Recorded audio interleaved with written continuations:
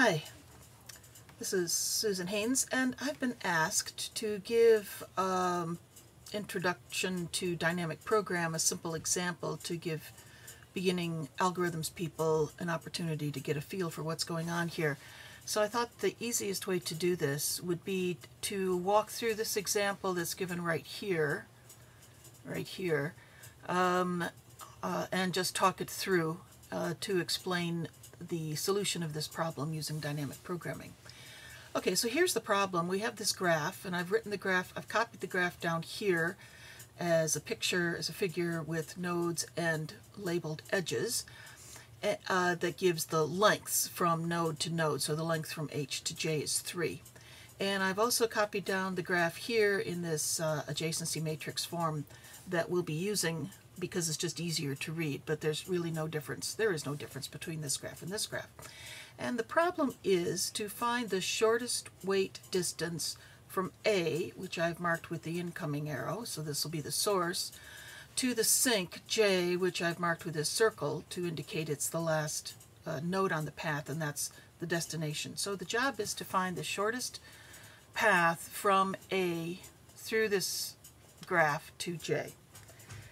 Okay, the idea of dynamic programming is that you gradually build up partial solutions, step by step increase, increasing the partial solution until you uh, end up with the complete solution. And the way this partial solution is, the steps of the partial solution, the way it's going to work right here is that um, I will first calculate uh, of all the nodes in this Mm, I'm going to call it a stage, and that's what he calls it. So this will start here with stage, uh, start here with stage one, two, three, four, five. Okay, so I'm going to start here at stage five and say the short of all the nodes here in stage five, the shortest distance from all the nodes, from each of the nodes here in stage five to my destination node J. Uh, I only have one candidate node J, that's j, and the distance from j to the destination is 0. So the cost of the, the, the solution, the optimal solution to go, the set of optimal solutions to go from this node here to the destination is 0, and that is just listing the node j. Okay, and then from this stage right here, for each one of these nodes, I want to know what's the optimal distance, what's the optimal path to go from each node here to my destination j. So from h, there's only one path to take, so that the weight of that path will be 3, and from i, the weight of that path will be 4. Okay, now from this stage right here, I'm going to use my solution from this stage here. So the optimal path to go from E to J will be the path, the, the optimal, the cost to go from E to H plus the solution I already calculated from H to J. So the cost from E to H is 1 plus 3 makes me 4. I can also get to J by going from E to I to J.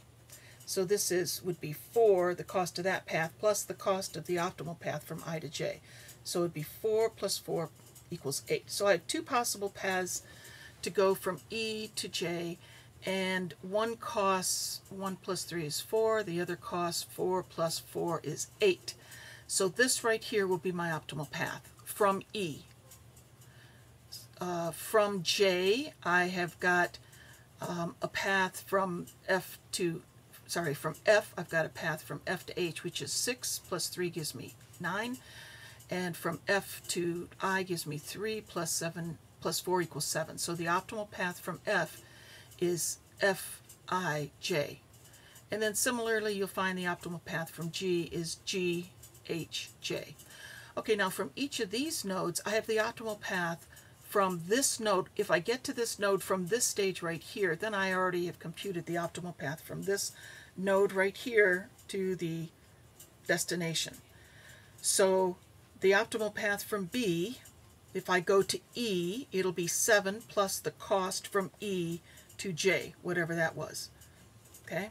Or it'll be F plus the optimal cost from F to J. Or it'll be B to G plus the optimal cost from G to J. So let's go, so this, this, this gives you the basic idea, I think, of where we're going. Let's go ahead and numerically solve this problem uh, step by step so that you can see this working.